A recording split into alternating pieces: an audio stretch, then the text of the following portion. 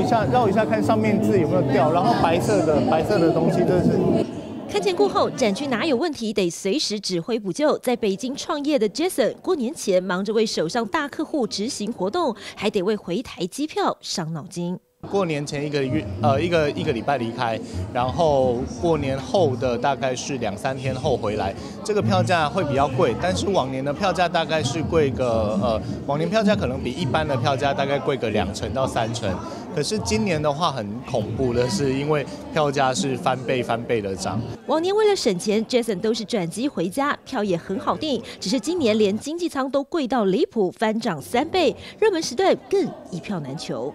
以北京出发港澳中展为例，过去搭乘国泰港龙航空来回机票四千块人民币就能够搞定，但现在得花上一万二。如果选择比较便宜的香港航空或者是澳门航空，也从两千多块人民币涨到了五六千。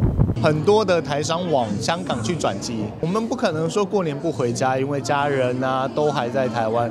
但因为政府的这样的关系，我也只能说，呃，蛮无奈的。M 五零三航线争议，蔡政府卡关下航东航一百七十六班春节加班机，尽管影响范围线华中华南，没想到地处华北的北京台商转机也意外被砍拖，荷包大失血。记者李思芳、杨奇浩北京采访报道。